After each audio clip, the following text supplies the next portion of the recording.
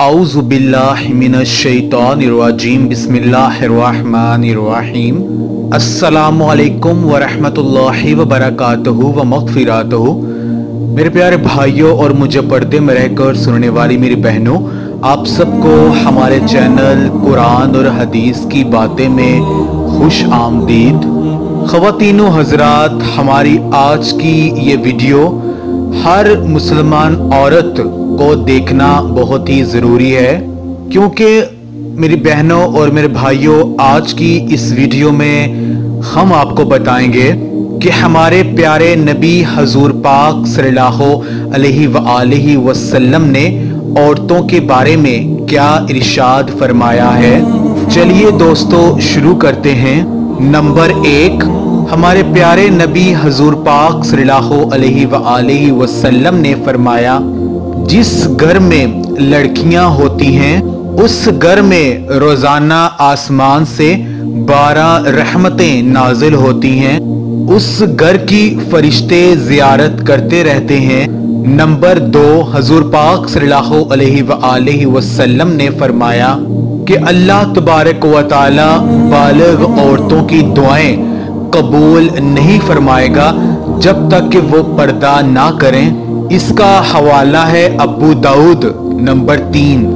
اللہ کے رسول حضور پاک صلی اللہ علیہ وآلہ وسلم فرماتے ہیں، جو عورت اپنے آپ کو نامحرم مرد کی نظر سے بچائے گی، دوزخ کی آگ اسے نہ جلائے گی۔ نمبر چار۔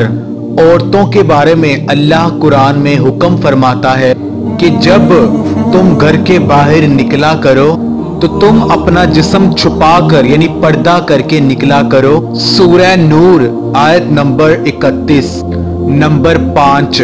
حضور پاک صلی اللہ علیہ وآلہ وسلم فرماتے ہیں کہ وہ عورت خوش نصیب ہوتی ہے جس کی پہلی اولاد بیٹی ہو۔ نمبر چھ۔ اللہ کے رسول صلی اللہ علیہ وآلہ وسلم فرماتے ہیں، بیٹیاں یعنی لڑکیوں کو برا نہ کہو۔ بیٹیاں تو جنت کے پھول ہیں۔ ابو داود نمبر سات۔ نبی کریم صلی اللہ علیہ وآلہ وسلم ارشاد فرماتے ہیں کہ عورت پردے میں رہنے کی چیز ہے۔ جس وقت وہ بے پردہ نکلتی ہے، تو شیطان اسے جانک جانک کر دیکھتا ہے۔ ترمزی شریف، نمبر آٹھ۔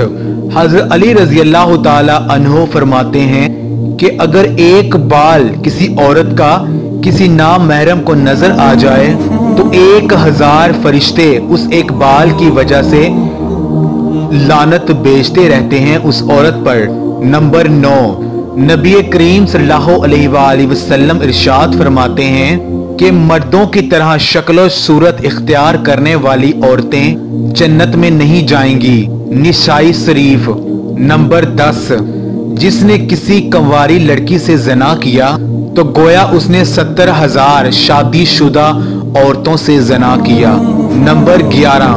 نبی کریم صلی اللہ علیہ وآلہ وسلم ارشاد فرماتے ہیں کہ جو اتنا مال رکھتا ہے کہ وہ نکاح کر سکے اور پھر بھی وہ نکاح نہ کرے تو وہ ہم میں سے نہیں ہے۔ بخاری شریف۔ نمبر بارہ۔ کافر عورت سے زنا حرام ہے چاہے وہ راضی ہی کیوں نہ ہو، اور اس بات کا جائز ہونے کا خیال بھی کفر ہے۔ فتوہ رضویہ، صفحہ نمبر نو سو اسی، نمبر تیرہ۔ اللہ کے رسول حضور پاک صلی اللہ علیہ وآلہ وسلم ارشاد فرماتے ہیں کہ جس نے نکاح کیا، اس نے اپنے آدھے دین کو حفاظت میں لے لیا۔ نمبر چودہ۔ اللہ کے رسول حضور پاک صلی اللہ علیہ وآلہ وسلم ارشاد فرماتے ہیں کہ نکاح کرو، چاہے مہر دینے کے لیے ایک لوہے کی انگوٹھی ہی کیوں نہ ہو۔ نمبر پندرہ، حضور پاک صلی اللہ علیہ وآلہ وسلم ارشاد فرماتے ہیں کہ تمہاری عورتوں میں سب سے بہتر عورت وہ ہے جو خود کی عزت میں پاک ہو اور اپنے شوہر کو چاہنے والی ہو۔ ابن ماجہ دوستو، حضور پاک صلی اللہ علیہ وآلہ وسلم نے عورتوں کی بہتری کے لیے فرمایا ہے کہ لڑکیاں اپنے بہتر راستے کے لیے سورہ اظہاب کی تلاوت کیا کریں۔ اس سے انشاءاللہ تعالی ان کی ہر مراد پوری ہوگی۔ تو خواتین و حضرات، ہم امید کرتے ہیں آپ کو ہماری یہ آج کی ویڈیو ضرور پسند آئی ہوگی تو اگر آپ کو ہماری یہ ویڈیو پسند آئی اس کو لائک اور شیئر ضرور کیجیے اور آخر میں ہم آپ سے گزارش کریں اگر آپ نے ابھی تک ہمارا چینل قرآن اور حدیث کی باتیں سبسکرائب نہیں کیا تو ہماری اس ویڈیو کے نیچے جو ریڈ بٹن ہے، سبسکرائب کا، اس پر کلک کر کے ہمارے چینل قرآن اور حدیث کی باتیں کو لازمی سبسکرائب کریں اور ساتھ بیل آئیکن جو گھنٹی کا بٹن ہے، اس پر کلک کرنا نہ بھولیں کیونکہ اگر آپ نے بیل آئیکن پر کلک کیا ہوگا تو ہم جو ڈیلی ویڈیوز اپلوڈ کرتے ہیں اپنے اس قرآن اور حدیث کے چینل یوٹیوب کے چینل پر، اس کا جو نوٹیفیکیشن آپ کو میسج کے ذریعے ملتا رہے گا اور ہماری فیوچر میں آنے والی کوئی بھی ویڈیو آپ سے مس نہیں ہوگی۔